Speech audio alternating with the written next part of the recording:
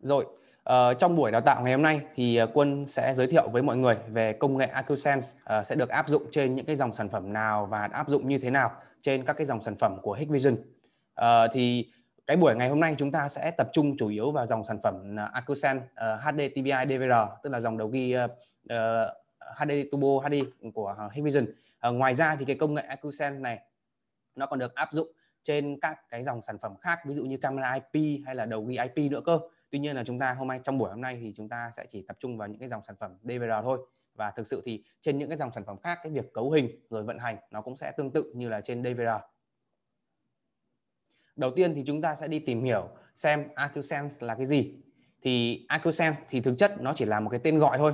Thì Hikvision sử dụng cái tên AcuSense này để đặt tên cho cái công nghệ uh, phân tích video thông minh dựa trên các cái thuật toán học tập sâu hay chúng ta còn gọi là thuật toán deep learning á uh, mà hãng Hikvision tự phát triển thì uh, cái thuật toán um, thuật uh, cái cái công nghệ AcuSense này thì uh, nó có thể phát hiện được các cái mục tiêu và phân loại các cái mục tiêu này thành các cái đối tượng như là con người, uh, xe, ô tô và các cái đối tượng khác. Đó, thế thì uh, đồng đồng nghĩa với việc là nó sẽ giúp cho chúng ta uh, nhận được những cái cảnh báo nó đáng tin cậy hơn uh, cho người dùng thì ví dụ như là với những cái đối tượng khác mà không phải là con người hoặc là xe thì thiết bị uh, khi mà được nhúng cái thuật toán IQ này nó sẽ biết để nó tự động nó luật loại bỏ đi nó không sẽ nó không kích hoạt uh, báo động nữa. Uh, vậy thì IQ thì nó sẽ hoạt động như thế nào? Thì khi mà được áp dụng cái thuật toán IQ này vào trong hệ thống và trong thiết bị thì cái công nghệ này nó sẽ có ba cái yếu tố. Nó giúp cho hệ thống hiệu hoạt động hiệu quả hơn và chúng ta sẽ cùng đi tìm hiểu từng cái khía cạnh một đầu tiên sẽ là cái khía cạnh uh, uh, thuật toán uh, phân loại. Uh, thiết bị mà được áp dụng cái công nghệ AcuSense thì nó sẽ có khả năng phát hiện và phân loại đối tượng là con người, xe cộ và khuôn mặt. À, thì thực tế à, thực tế khi mà anh em chúng ta cấu hình chúng ta cài đặt cái tính năng AcuSense này này ở trên uh, thiết bị đầu ghi á hoặc là trên thiết bị camera ấy thì chắc chắn là chúng ta sẽ không bao giờ chúng ta có thể tìm tìm được một cái tính năng nào mà nó nó hiển thị nó có tên là AcuSense cả. Đó tức là cái AcuSense này thì nó sẽ chỉ là một cái tên của một công nghệ thôi và cái công nghệ này thì sẽ được áp dụng vào các cái tính năng phân tích hình ảnh thông minh của uh, Hikvision. Ví dụ như là những cái tính năng như là motion detection uh, phát hiện chuyển động này Uh, tiếp theo nữa là những cái tính năng về line crossing uh, phát hiện uh, vượt ranh giới ảo và uh, phát hiện uh, truy cập vào uh, truy cập trái phép intrusion detection. Và trong cái slide này thì chúng ta sẽ lấy cái tính năng motion detection để ừ. làm cái ví dụ. Đông.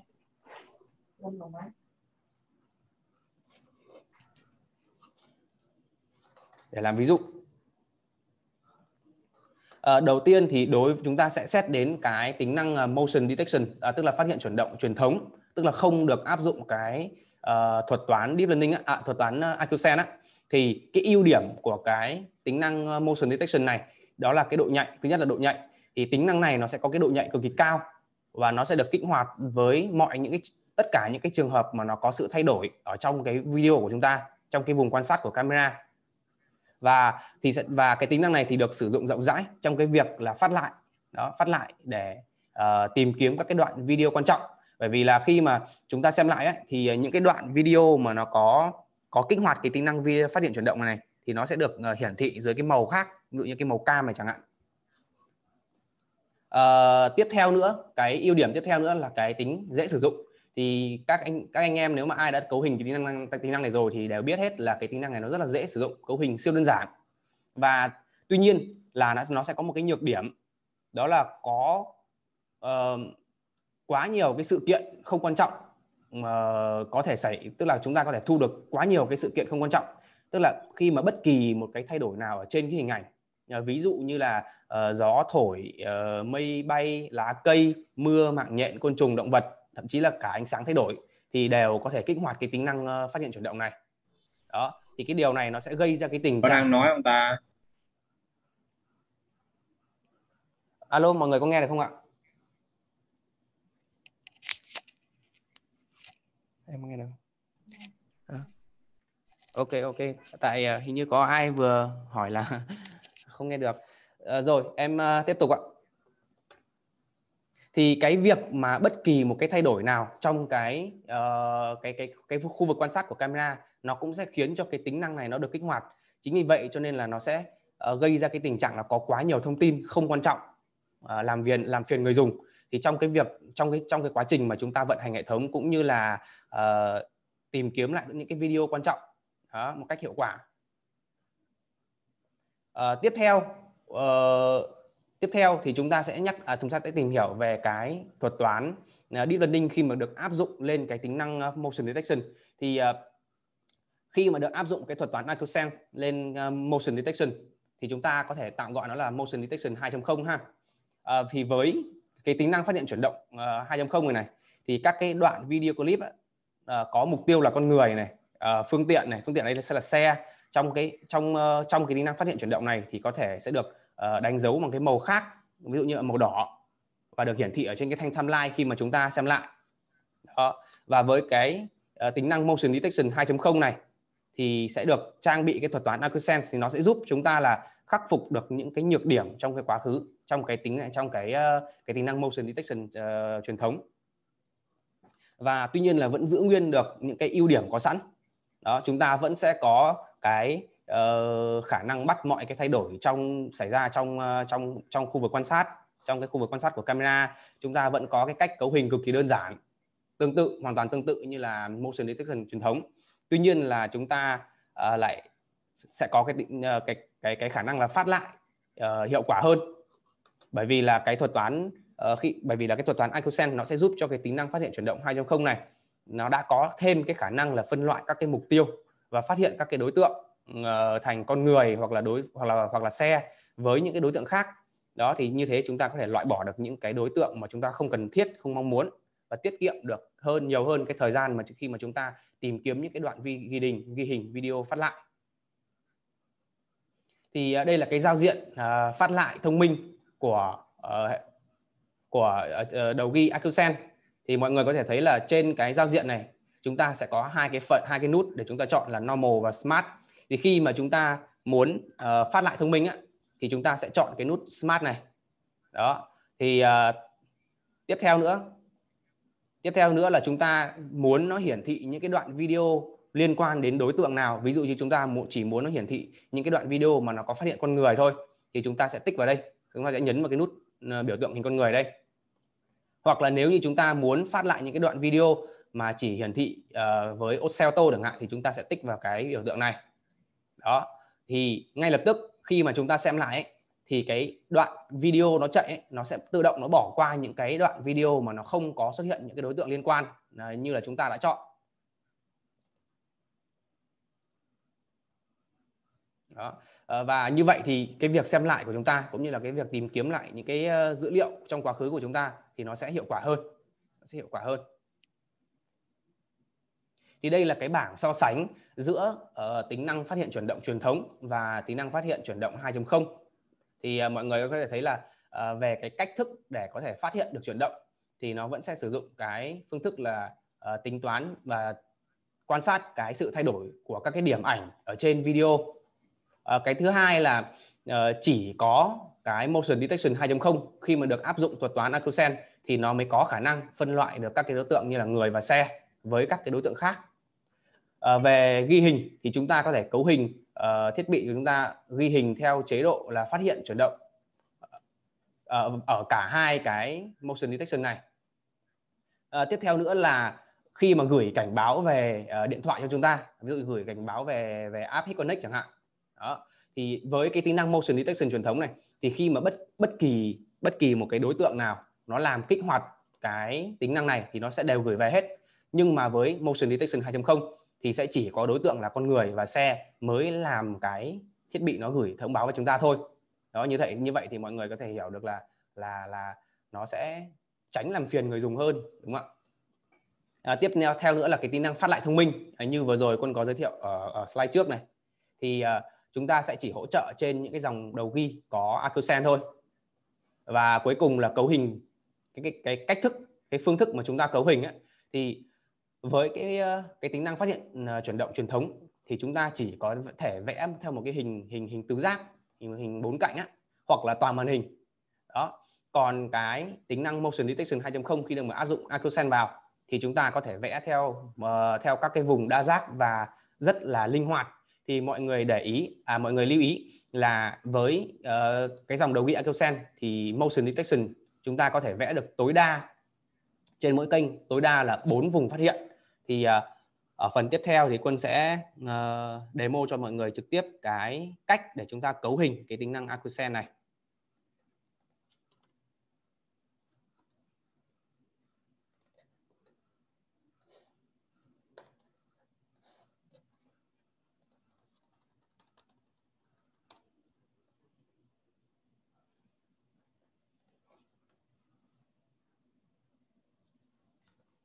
Đây là một cái mã đầu ghi Accusent à, đã được à, chuẩn bị trước.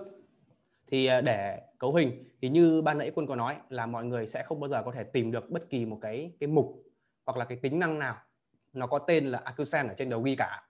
Mà thế thì Accusent được áp dụng trên những cái dòng đầu ghi này kiểu như thế nào? Đó thì khi mà mọi người truy cập vào uh, những cái tính năng phát hiện hình ảnh thông minh ví dụ như là motion detection này hoặc là những cái tính năng như là uh, intrusion detection hoặc là line crossing đó thì mọi người để ý là nó sẽ có thêm một cái mục là target detection ở đây. Thì đây nó chính là AQSense đây nó chính là AQSense của chúng ta. Đó thì uh, quay trở lại về cái tính năng motion detection 2.0 của chúng ta. À, thì cái này cấu hình rất là đơn giản thôi. À, đầu tiên ý, thì mọi người sẽ bắt đầu tiến hành vẽ một cái vùng phát hiện. Thì cái vùng phát hiện này của chúng ta nó sẽ là kiểu dạng đa giác và chúng ta vẽ cái vùng này nó rất là đơn giản rất là linh hoạt. Đó và tối đa thì trên trên cái vùng uh, trên một cái kênh camera của chúng ta thì chúng ta có thể vẽ được tối đa là bốn vùng.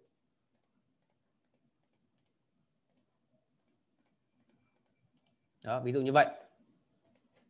Chúng ta lưu lại. À, mọi người để ý là để kích hoạt cái tính năng Acusen lên để kích hoạt cái cái cái phát hiện Acusen này lên này thì nhớ chúng ta sẽ phải uh, tích vào hai cái mục là human hoặc là vehicle. Đó thì uh, chúng ta hoàn toàn có thể chọn hoặc là human hoặc là vehicle hoặc là thậm chí là cả hai. Đó. thì khi ví dụ cái này thì đơn giản anh ờ, mọi người có thể thấy là nếu như chúng ta tích vào human thì nó sẽ chỉ phát hiện đối với cả con người thôi. Nếu mà tích vào vehicle thì nó sẽ chỉ phát hiện đối với cả các cái loại uh, xe xe ô tô thôi. Đó thì đấy là cách để chúng ta cấu hình cái tính năng motion detection này. Rất là đơn giản.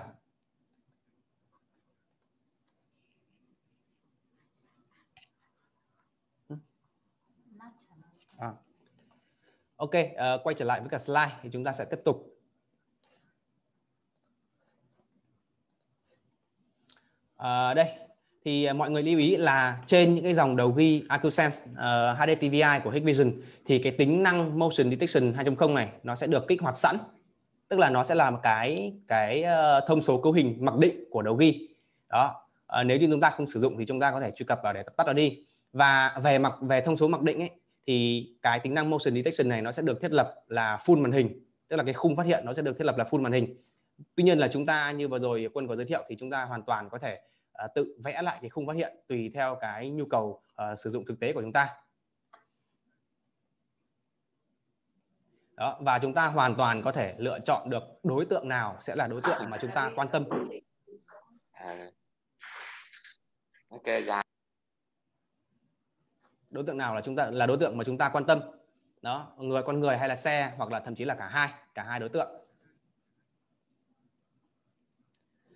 À, tiếp theo nữa thì như đã giới thiệu thì cái tính năng ờ, à, cái công nghệ Acosen này nó không chỉ được áp dụng vào à, tính năng motion detection mà nó sẽ còn được áp dụng vào cái tính năng là light crossing và intrusion detection nữa cơ. Thì uh, uh, nó sẽ được áp dụng như thế nào thì phía ở phía cuối cái cái cái bài slide á, thì quân sẽ giải thích rõ hơn và hướng dẫn mọi người cấu hình rõ hơn. Cái đối tượng tiếp theo mà cái dòng đầu ghi Accusent này nó có thể uh, phân loại đó là uh, cái đối tượng về khuôn mặt. Thì cái thuật toán Accusent khi mà được áp dụng trên cái đầu ghi HDTVI của Hikvision thì cũng sẽ có khả năng uh, thực hiện được cái việc nhận diện và so sánh khuôn mặt thì thông thường nếu như chúng ta muốn sử dụng cái tính năng nhận diện và cái so sánh khuôn mặt như này thì bắt buộc là rõ ràng là chúng ta sẽ phải sử dụng hệ thống IP đúng không? Chúng ta sẽ phải có cái những cái dòng sản phẩm camera IP nhận diện khuôn mặt chuyên dụng.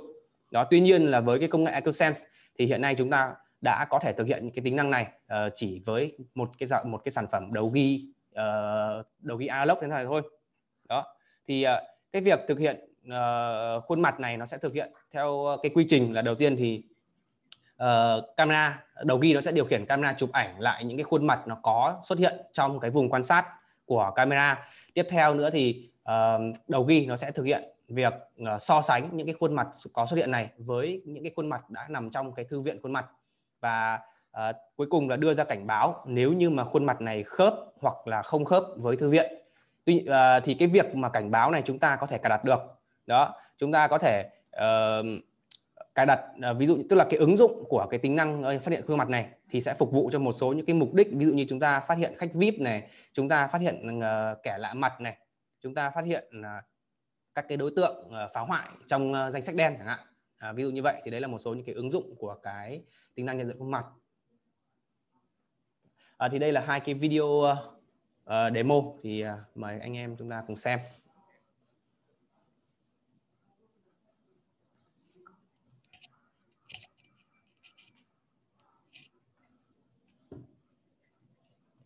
À, mọi người có thể thấy là uh, khi mà nó thực hiện chụp ảnh và so sánh khuôn mặt ấy thì với những cái đối tượng nào có có đã có khuôn mặt ở trong uh, thư viện khuôn mặt ấy thì nó sẽ tiến hành nó so sánh ở đây. Ví dụ như bao nhiêu phần trăm khớp chẳng hạn. Còn với những cái đối tượng mà chưa có hình ảnh trong khuôn uh, chưa có hình ảnh khuôn mặt ở trong thư viện thì uh, nó sẽ hiển thị là uh, xác thực uh, thất bại ở đây. Và khuôn mặt này là khuôn mặt chính là khuôn mặt người lạ. Ok cái uh, tiêu chí tiếp theo cái cái khía cạnh tiếp theo là hệ thống AcuSense có thể hành động theo thời gian thực và báo động chính xác. Thì uh, như các anh em đã biết thì uh, những cái dòng sản phẩm camera analog của Hikvision ấy thì chúng ta có một cái dòng sản phẩm chúng ta gọi là Turbo X.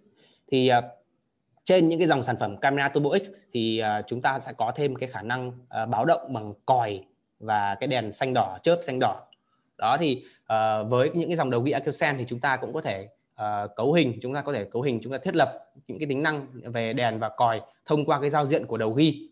Đó thì với khi mà chúng ta uh, phát hiện có à tức là khi mà hệ thống nó phát hiện là có con người có xe hoặc là khuôn mặt gì đấy chẳng hạn thì nó sẽ điều khiển những cái camera này nó kích hoạt cái tính năng cái cái tính năng còi và đèn cảnh báo để uh, chủ động xua đuổi những cái đối tượng đó. Thì chúng ta cùng xem một cái video minh họa.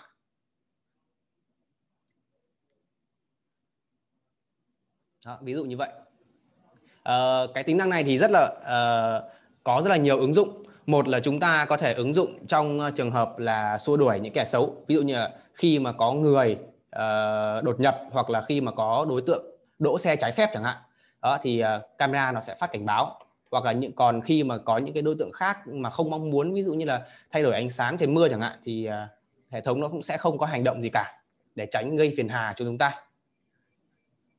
Ờ, đồng thời thì khi mà kích hoạt cảnh báo như vậy thì hệ thống cũng sẽ gửi cho chúng ta những cái thông tin À, theo thời gian thực ngay lập tức.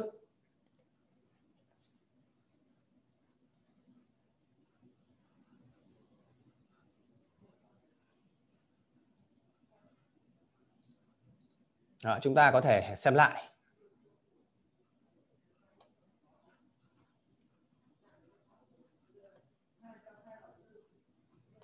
À, cái khía cạnh cuối cùng đấy là chúng ta sẽ có thêm hai cái tính năng mới nữa là Smart Playback và Quick Target Search. À, tức là sẽ phát lại thông minh và tìm kiếm nhanh đối tượng. Thì cái smart playback này thì ban nãy quân cũng đã giới thiệu với mọi người rồi tức là chúng ta sẽ phát lại thông minh à, phát lại nhanh hơn và chỉ phát lại những cái đoạn video mà nó sẽ liên quan đến những cái đối tượng mà chúng ta có thể lựa chọn. Đó và tự động bỏ qua những cái đoạn video mà không có phát không có phát hiện đối tượng. Đó như thế thì chúng ta tiết kiệm được rất là nhiều thời gian chúng ta có thể xem một cái video minh họa ở đây. Đó chúng ta sẽ chọn cái tính năng là smart playback này.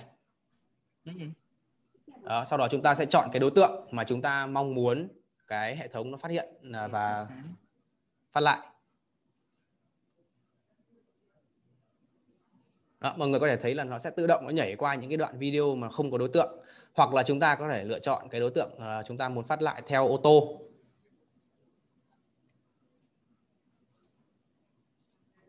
Đó thì đấy là cái sự hiệu quả của cái à, công nghệ này À, tiếp theo nữa thì chúng ta sẽ có cái tính năng là tìm à, tìm kiếm nhanh đối tượng. Thì à, thông qua cái giao diện GUI của đầu ghi ấy, thì chúng ta có thể tìm kiếm nhanh.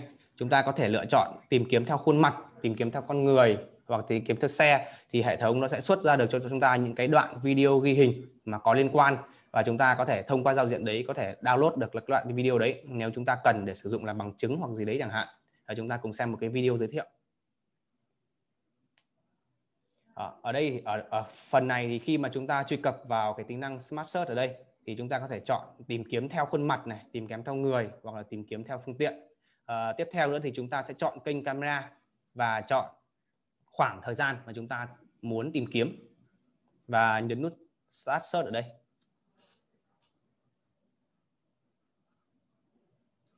Đó thì ngay lập tức là hệ thống sẽ trả lại cho chúng ta những cái kết quả.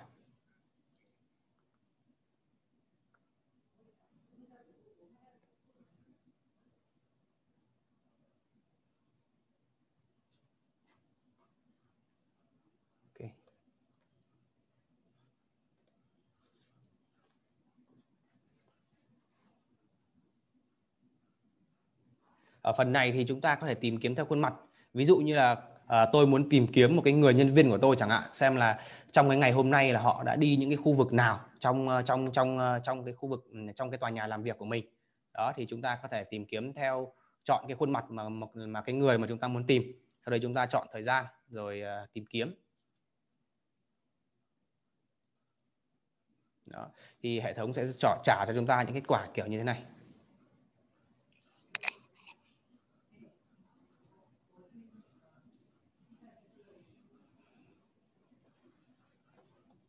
Ok, thì à, trên những cái dòng sản phẩm đầu ghi HDTVI AcuSense của Hikvision thì chúng ta sẽ còn có thêm một số những cái tính năng khác uh, nữa. Ví dụ như là tính năng Wi-Fi dongle. Thì cái tính năng này nó sẽ cho phép chúng ta kết nối cái thiết bị đầu ghi với uh, hệ thống mạng nội bộ của chúng ta uh, bằng cách là ví dụ như trong trong trường hợp mà chúng cái vị trí từ cái vị trí đầu ghi đến cái vị trí mà chúng ta cắm switch hoặc là cắm uh, modem chẳng hạn mà chúng ta không thể đi dây đó thì uh, chúng ta sẽ sử dụng cái Wi-Fi dongle này để chúng ta kết nối wifi cho cái đầu ghi. À, tiếp theo nữa thì uh, trên ờ, các cái dòng sản phẩm uh, đầu ghi AcuSense thì cũng sẽ hỗ trợ chúng ta truyền tải cái âm thanh qua các đồng trục đối với cả những một số những cái mã camera nó có hỗ trợ tính năng này. À, thì mọi người phải để ý lưu ý là khi mà chúng ta chọn lựa sản phẩm thì chúng ta sẽ đều phải chọn cái mã có chữ SC À, tiếp theo nữa thì những cái dòng sản phẩm này tất nhiên là nó cũng sẽ hỗ trợ chúng ta reset mật khẩu thông qua HitConnect. Đó thì ở trên giao diện GUI của đầu ghi thì chúng ta sẽ uh, xác thực bằng à, chúng ta sẽ lựa chọn cái phương thức reset mật khẩu bằng HitConnect ở đây. Và đầu ghi nó sẽ đưa ra chúng ta xuất ra chúng ta một cái mã QR code như này. Chúng ta sử dụng tài khoản HitConnect để quét cái mã code này và nhận được một cái mã xác thực. Cuối cùng là chúng ta sẽ nhập cái mã xác thực này vào để uh, khởi tạo lại mật khẩu của đầu ghi. Thì anh em lưu ý là cái tính năng này nó sẽ chỉ có thể hoạt động chỉ có thể xảy ra khi mà cái cái sản phẩm đầu ghi này của chúng ta này đã được gắn lên cái tài khoản mà cái trên app HitConnect chúng ta sử dụng để quét. À, cái phần cuối cùng của chúng ta là những cái dòng sản phẩm AcuSense thì chúng ta có những cái mã sản phẩm như thế nào? Thì mọi người để ý là tất cả những cái dòng sản phẩm đầu ghi HDTVI được trang bị cái thuật toán AcuSense này này thì nó sẽ có mã là IDS đó mọi người để ý là IDS này. À, và cuối cùng ở nó sẽ có tức là ở cái mã cuối cùng nó sẽ có SC hoặc là FA đó thì nó sẽ khác nhau như thế nào? Thì những cái mã mà nó có chữ SC đó thì nó sẽ chỉ hỗ trợ chúng ta à, lọc bỏ các cái đối tượng với người và xe và phát hiện chụp ảnh khuôn mặt. Thế còn những cái dòng sản phẩm mà nó có chữ FA thì là trên The Ghi nó sẽ có thêm cái thư viện khuôn mặt và chúng ta có thể sử dụng cái tính năng là nhận diện và so sánh khuôn mặt à, như đã giới thiệu vừa rồi. Đó, đây đấy là cái sự khác biệt. Ngoài ra thì à, những cái thông tin khác ví dụ như là số kênh hoặc là số độ phân ờ, cái độ phân giải cao nhất mà cái đầu ghi nó hỗ trợ thì cái này thực ra là anh em cũng đã rất là quen thuộc rồi à, tiếp theo nữa thì chúng ta sẽ có những cái sự kết hợp uh, giữa các cái dòng sản phẩm analog như thế nào. Đó.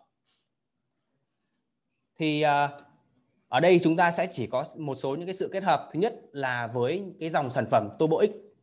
Turbo X khi mà chúng ta kết hợp với cả đầu ghi Acosen thì chúng ta sẽ có cái gì? Thứ nhất là chúng ta sẽ có phân loại uh, phân loại phát hiện khuôn mặt và uh, phân loại người và xe tất cả các kênh. Đấy, với cái tính năng phát hiện chuyển động. À, tiếp theo nữa thì chúng ta sẽ có uh, cái tính năng là báo động uh, thời gian thực bằng uh, âm thanh cảnh báo hoặc là và đèn chớp.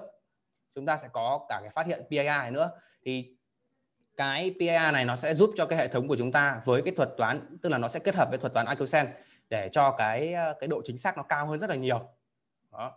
À, tiếp theo là chúng ta sẽ có sự kết hợp giữa camera color view và đầu ghi IQSense thì sự kết hợp này của chúng ta thì nó cũng sẽ tương tự như là cái sự kết hợp ở bên trên. Tuy nhiên là nó sẽ không nó sẽ mất đi hai cái tính năng là báo động bằng uh, bằng âm thanh và PIR và chúng ta sẽ có thêm một cái uh, tính năng nữa là hình ảnh. Chúng ta sẽ có màu sắc 24 trên 7 và cuối cùng là cái sự kết hợp giữa camera thông thường. Đó, những cái dòng sản phẩm camera thông thường, iLog thông thường, HD TVI thì với đầu IQ thì chúng ta vẫn sẽ có tất cả những cái tính năng về phát hiện, về lọc bỏ đối tượng. À, tuy nhiên thì chúng ta sẽ chỉ mất uh, những cái tính năng như là hình ảnh có màu và hoặc là âm báo động bằng âm thanh bằng đèn thôi. Đó thì đấy là những cái sự uh, kết hợp uh, giữa những cái dòng sản phẩm mà chúng ta có. Đó thì đại loại đại loại là để mà sử dụng để mà thực hiện được những cái tính năng về Sense thì chúng ta sẽ chỉ cần duy nhất cái đầu ghi thôi còn camera của chúng ta thì chúng ta lắp loại nào cũng được ok À, thì đấy là đây là vừa rồi là những cái thông tin uh, chia sẻ mà quân à, muốn giới thiệu với các với anh các anh em với các anh em về cái dòng sản phẩm Acusen DVR uh, à, của Hikvision. Thì ở cái phần tiếp theo uh, chúng ta sẽ uh, cùng uh, nghiên cứu về cái cách cấu hình uh, cái cái công nghệ Acusen này với một số những cái tính năng.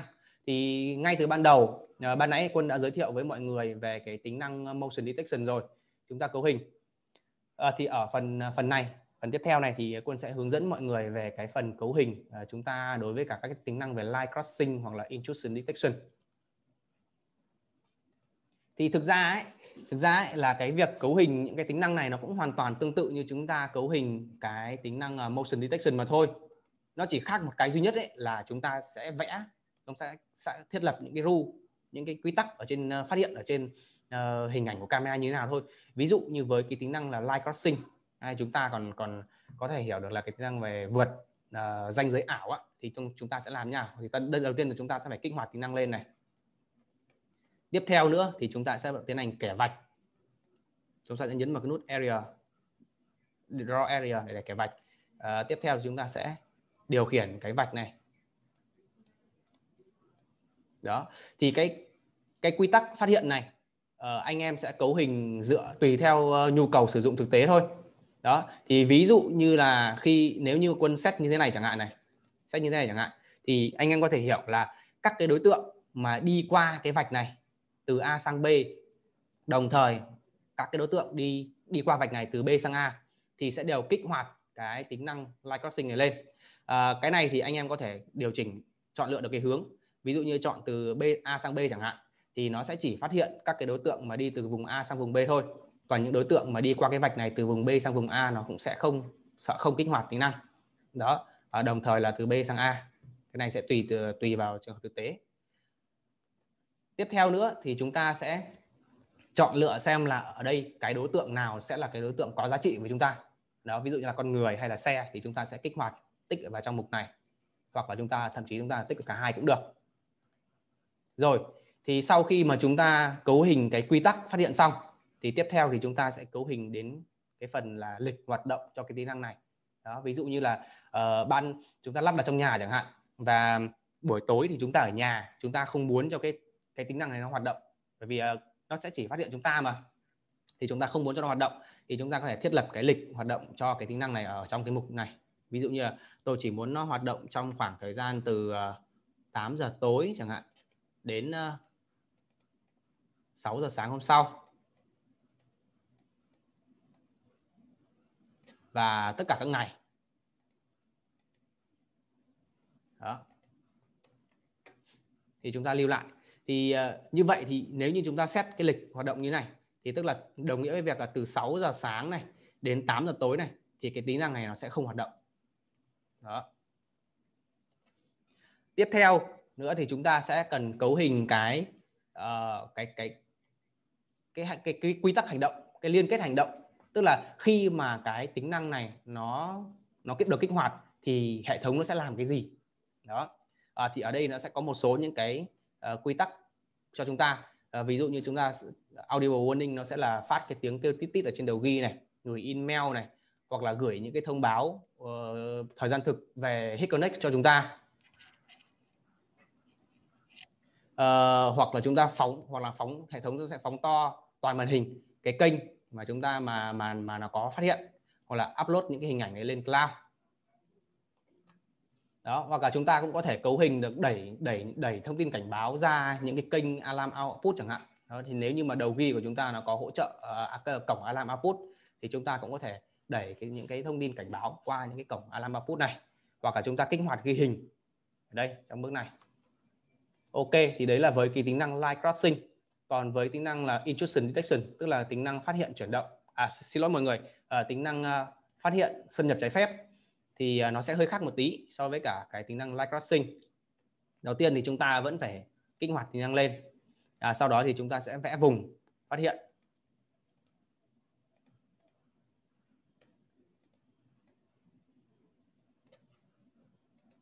À, tiếp theo thì chúng ta lại y chang như là tính năng kia thôi thì chúng ta sẽ kích hoạt vào human hoặc là vehicle. Thì mọi người lưu ý là là hai cái tính năng hai cái tính năng intrusion và detection à, intrusion detection và line crossing detection thì chúng ta sẽ chỉ sử dụng một hoặc là hai tức là tức là một trong hai cái cái tính năng này trong cùng một thời điểm thôi. Đó. Nếu mà chúng ta sử cấu hình cả hai á, thì à, nó sẽ thông báo chúng ta là bị xung đột. Rồi thì cái tính năng này nó sẽ hơi khác một xíu so với tính năng à, phát hiện chuyển động đó rõ ràng là cái, với cái, những cái tính năng phát hiện chuyển động này thì chúng ta cũng lại vẽ vùng đúng không? Cũng vẽ vùng. Tính năng intrusion detection chúng ta cũng vẽ vùng. Đó thì nó sẽ khác nhau như thế nào? Nó sẽ khác nhau như thế nào?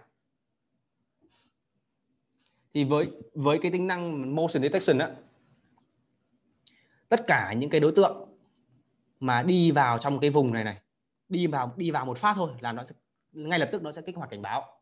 Đó. Còn với cái tính năng là intrusion detection thì thì đối tượng khi mà đi vào vùng phát hiện, sau cái khoảng thời gian bao lâu thì nó mới kích hoạt cảnh báo. Thì đấy là cái sự khác nhau duy nhất giữa hai cái tính năng này. Đó. Và sau khoảng thời gian bao nhiêu lâu ấy, thì chúng thì chúng ta có thể thiết lập được ở đây. Và tối đa ở đây thì chúng ta có thể thiết lập là từ, là hai giây. Rồi à, cuối cùng thì chúng ta chúng ta cũng sẽ lại thiết lập cái lịch hoạt động cho tính năng này cũng như là những cái liên kết hoạt động những cái liên kết báo động cho cái tính năng này. Thì hoàn toàn tương tự như nhau. À, ok. Ok. À, như vậy là tất đấy đọ, vừa rồi là tất cả những cái nội dung mà à, về cái dòng sản phẩm AccuSense thì à, tiếp theo chắc chúng ta sẽ đến cái phần thứ hai là hỏi đáp à. ok.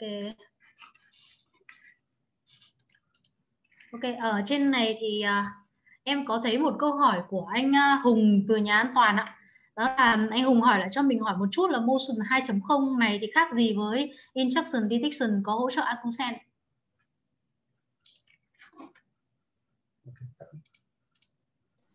Uh, ok uh. thì cái sự khác biệt là cái mà mình vừa nói á tức là ở đây thì tức là cái việc phát hiện ở đây ấy, thì nó sẽ đều là phát hiện con người hoặc là phát hiện xe thôi. Thì cái việc phát hiện nó hoàn toàn tương tự với nhau nó không khác gì cả. Tuy nhiên nó sẽ khác nhau cái điểm. Thứ nhất là cái việc mà chúng với là cái việc là cái cái khoảng khoảng thời gian delay á. Tức là ví dụ như với cái tính năng intrusion detection này thì chúng ta có thể thiết lập được cái khoảng thời gian sau khi mà đối tượng đi vào trong cái vùng này. Bao nhiêu giây? Ví dụ như khi mà đối tượng bước vào trong vùng này xong rồi đi ra ngoài luôn chẳng hạn. Đấy, chưa đến chưa đạt đến cái ngưỡng hai giây mà chúng ta thiết lập này thì kích hoạt à thì thích, uh, ờ, tính năng nó cũng sẽ không bị kích hoạt. Đó và chỉ khi mà đối tượng đứng trong cái vùng này hai giây thì cái báo động này nó mới kích hoạt. Đấy là cái thứ nhất. Cái thứ hai là cái vùng cái vùng phát hiện này này cái vùng này này của chúng ta này thì nó sẽ linh hoạt hơn đối với cái tính năng là motion detection. Đó nó sẽ linh hoạt hơn bởi vì là chúng ta có thể thiết lập được rất là nhiều cái vùng cái vùng phát hiện này chúng ta có thể thiết lập được rất là nhiều cạnh trong khi là intrusion detection thì chúng ta sẽ uh, chỉ thiết lập được uh, tối đa là bốn cạnh thôi. Tức là đây tối đa cái vùng phát hiện này sẽ tối đa là bốn cạnh. À, chúng ta không thiết lập được nhiều hơn cạnh hơn nữa. Đó. À, thì đấy là cái sự khác biệt. Rồi.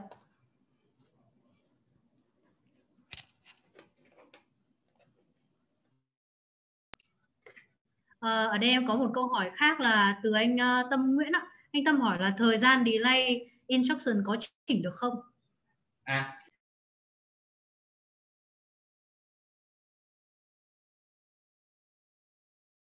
À, vừa rồi thì thì mình có chỉnh được ở trong cái tính năng uh, delay đây. À, ở tính năng injection detection đây thì mình có thể điều chỉnh từ 0 đến 2 giây. Nếu mà nếu mà mình chỉnh là không chẳng hạn thì đối tượng thì nó cũng lại tương tự như motion detection rồi. Bước vào cái là nó sẽ phát hiện luôn. Đó, bước vào cái nó sẽ phát hiện luôn. Đó.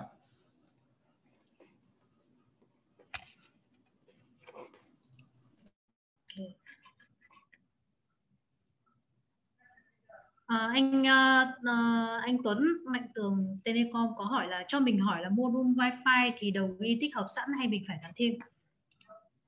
À cái cái, cái module wifi, wifi này, thì, này thì thì nó thì thì chúng ta sẽ phải mua chúng ta sẽ phải mua ở ngoài. Thì nó chính là những cái cái ờ, thiết bị về ờ, uh, USB uh, ờ, bắt wifi á. Thì ở thời điểm hiện tại thì theo theo theo thông tin từ bên từ bên tổng thì là 80% những cái thiết bị những cái sản phẩm uh, USB thu wifi ở trên thị trường thì sẽ đều tương thích. Đó thì tuy nhiên là cái này chúng ta sẽ phải test thêm ở trên thực tế nữa.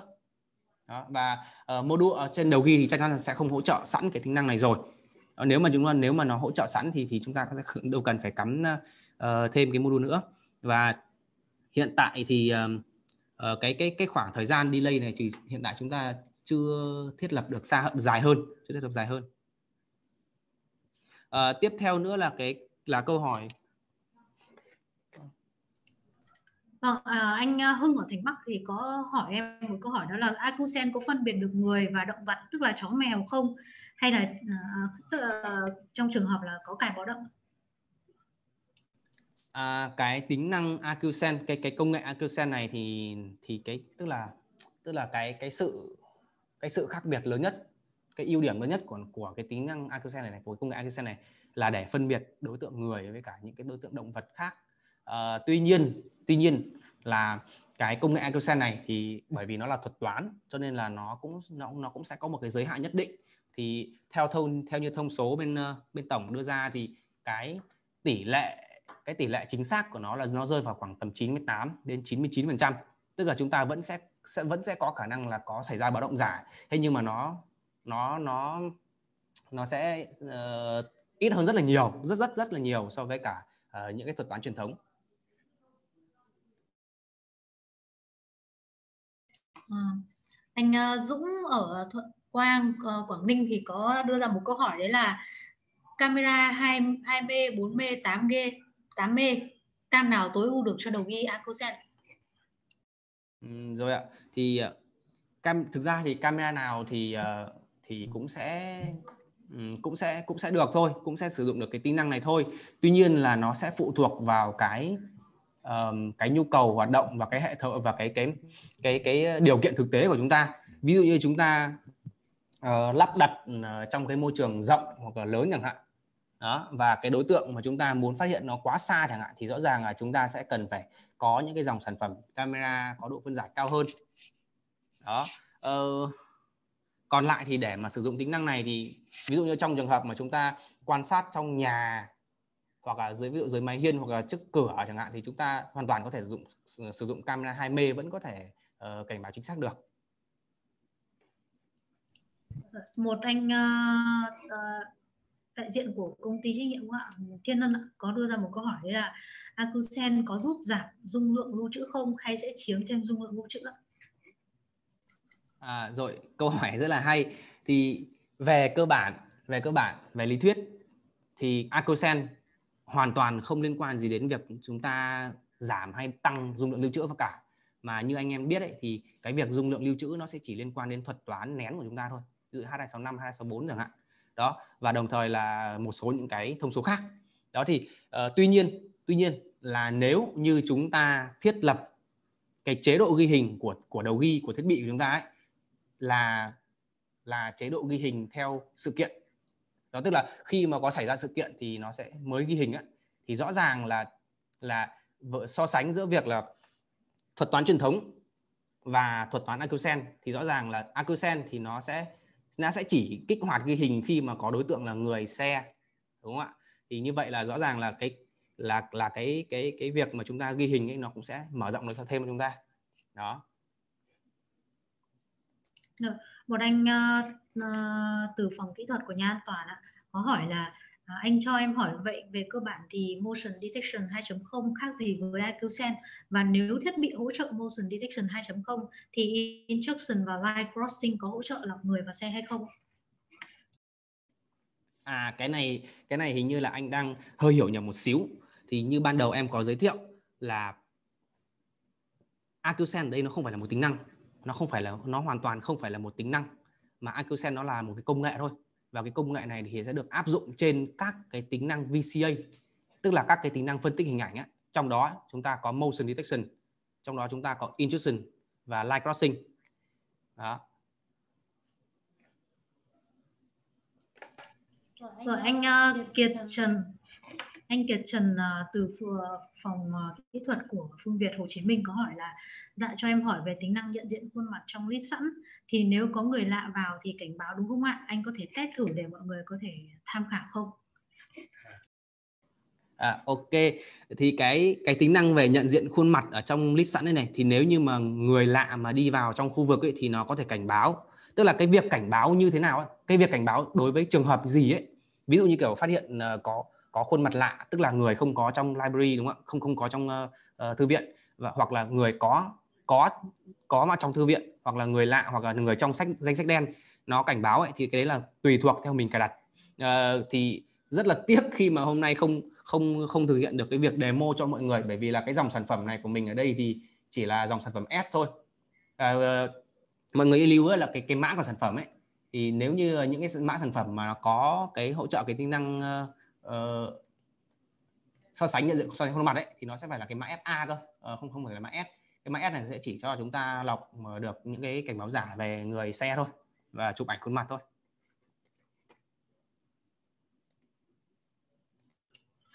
À, một anh uh, vào sau nhưng mà cũng em cũng chưa rõ là anh tên là gì.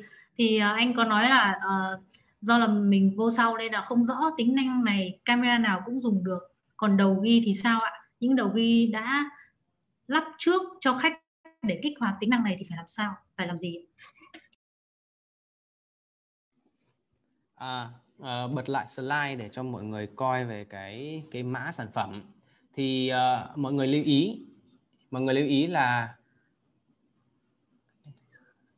mọi người lưu ý là uh, cái những cái dòng những cái tính năng uh, những cái tính năng này này thì nó sẽ chỉ hỗ trợ trên một số những cái dòng đầu ghi thôi. Và cụ thể ở đây là những cái dòng đầu ghi mà có mã ở đây. Thì mọi người để ý là với những cái dòng sản phẩm này thì cái mã của nó sẽ là cái chữ có chữ IDS ở đầu này à, bình thường chúng ta có sẽ có cái mã là DS đúng không ạ? Thì cái dòng này nó sẽ là IDS và ở cuối thì nó sẽ có cái ký tự M.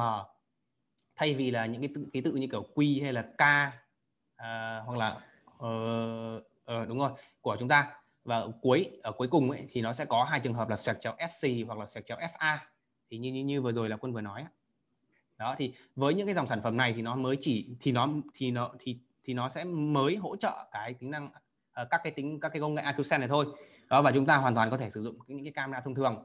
Thế thì nếu như mà trong cái trường hợp mà khách hàng của chúng ta có nhu cầu nâng cấp lên từ cái hệ thống cũ thì chúng ta đồng nghĩa với việc là chúng ta sẽ chỉ cần thay cái đầu ghi thôi và chúng ta không cần thay camera nữa.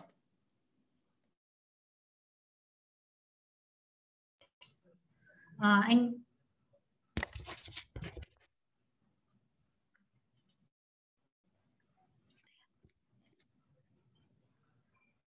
À, một à, anh uh, có nick là TNS có hỏi là DVA gửi cảnh báo qua VMS. VMS là gì? Ừ. DVA có thể gắn SIM, ừ. gọi khi có báo động không? Chủ yếu set báo động vào ban đêm, người cũng không nhận được báo động. Ừ, ok, câu hỏi rất hay ạ. Thì à, VMS ở đây chúng ta cái VMS là cái viết tắt của cái cụm từ là Video Management System. Tức nói tóm lại là về trung tâm thì trung tâm ở đây nó là cái gì? Nó chính là cái phần mềm IVMS của chúng ta ấy. nếu như chúng ta uh, có một cái uh, uh, nó sẽ có hai trường hợp. Ví dụ như là chúng ta triển khai cái hệ thống này cho cho tòa nhà hoặc là cho những cái hệ thống lớn á, thì chúng ta sẽ có một cái phòng bảo vệ như kiểu là phòng bảo vệ á. thì trên cái phòng ở trong cái phòng bảo vệ đấy sẽ có máy tính và được cài đặt những cái tính phần mềm như kiểu là IVMS 4002 hoặc là Hix Central. Đó thì cái VMS nó chính là cái cái phần mềm đó. Uh, tiếp nữa là DVR thì chắc chắn là không thể cắn sim được rồi để gọi báo động. Ờ, và chủ yếu xét báo động vào ban đêm và người cũng không nhận được báo động. Thế thì nó sẽ có hai trường hợp. Thứ nhất là uh, một là uh, khi mà đi ngủ ấy, thì người ta bật wifi đó thì nó vẫn nhận báo động. Với cái thứ hai ấy, là trên cái dòng trên cái combo sản phẩm như ban nãy quân có giới thiệu này. Đây. Thì chúng ta có thể lựa chọn cái combo một để chúng ta bán cho khách hàng. Thì cái combo một nó có cái gì? Nó sẽ có cái dòng sản phẩm camera turbo x ở đây này thì trên bản thân cái con cam ấy nó cũng đã có một cái phương thức báo động là phương thức báo động chủ động. Tức là nó tích hợp cái đèn chớp uh, xanh đỏ và cái âm thanh cảnh báo ấy. Thì khi mà phát hiện đối tượng xâm nhập ấy, thì nó sẽ ngay lập tức nó sẽ uh, đẩy cảnh báo giống như cái video như thế này.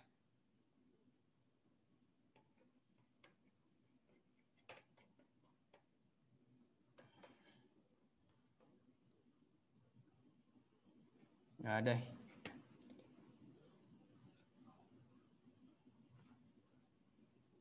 Đó.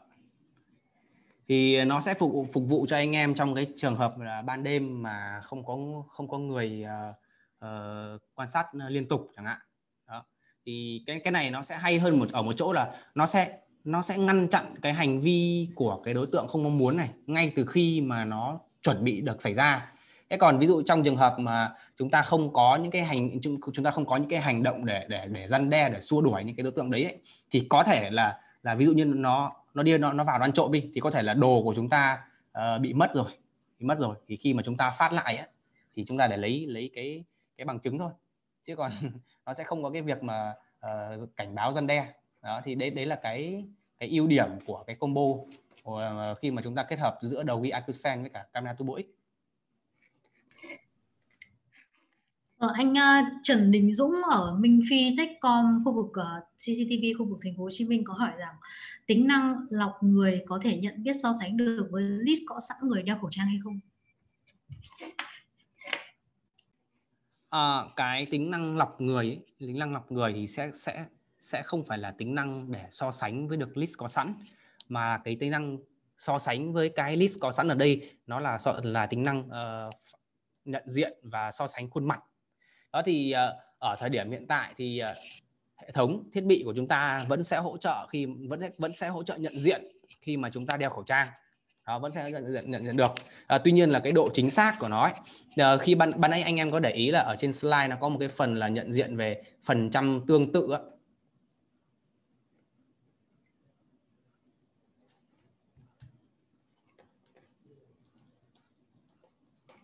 À, mọi người đợi xíu.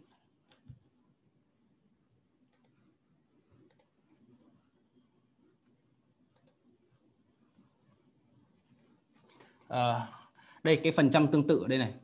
Đó thì chắc chắn là khi mà mình đeo khẩu trang ấy thì cái phần trăm tương tự này cũng nó cũng sẽ bị giảm xuống một xíu. Và và mình có thể thiết lập được là bao nhiêu phần trăm thì sẽ được tính là khớp. Tức là khi mà hệ thống nó nó phát hiện ra cái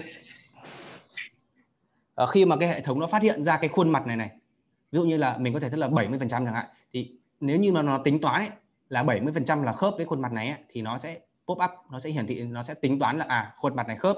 Còn nếu như mà trong trường hợp mà cái cái cái độ cái sự cái độ giống nhau giữa hai cái khuôn mặt này này mà nó dưới 70 phần trăm thì nó sẽ tính toán nó sẽ tính là à đây là khuôn mặt người lạ. Đó thì cái đấy chúng ta có thể thiết lập được.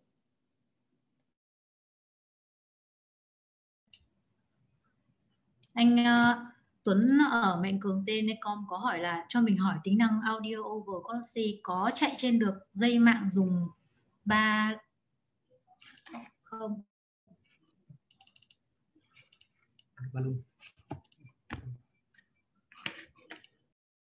À, trong uh, trường hợp này thì uh, như đợt trước quân có test thử ấy, thì nếu mà chúng ta hình như là không chạy được đâu ạ. Chúng ta buộc là phải chạy qua các đồng trục ạ thì mới được ạ.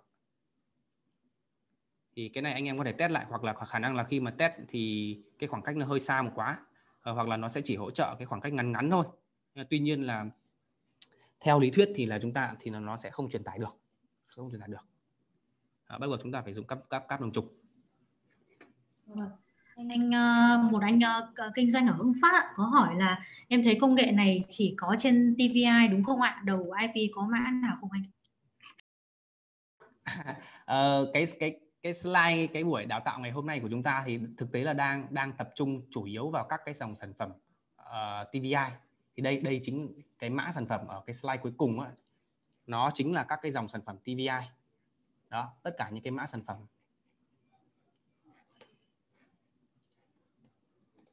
À, mọi người đợi chút.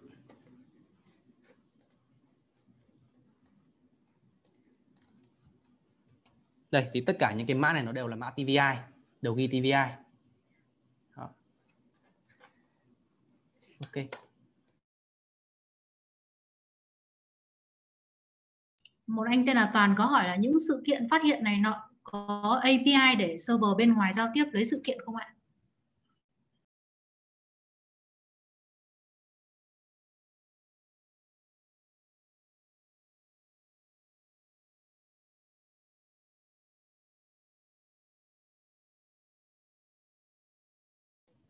Ờ, những cái dòng sản phẩm của Hikvision này thì đều hỗ trợ API nhé. À, tuy nhiên là nếu như mà tức là nếu mà anh có nhu cầu để tích hợp hệ thống thì có thể làm việc với cả à, cả hãng để lấy cái thông tin về API này.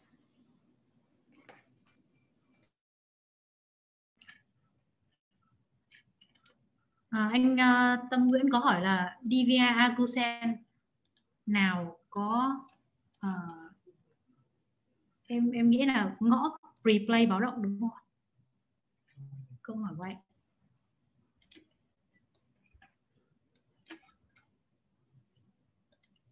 Em thắc mắc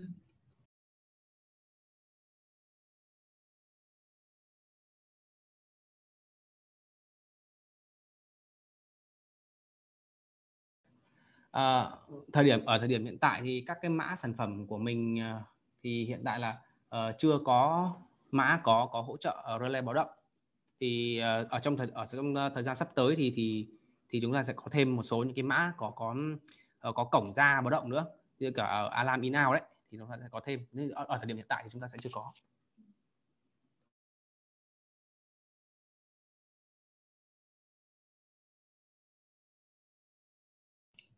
Anh uh, anh Tuấn từ Mạnh Cường Telecom có hỏi là những đầu ghi này có chuyển kênh được qua IP và add camera IP vào để sử dụng tính năng này không? À, được, à, được anh nhé. Được. được.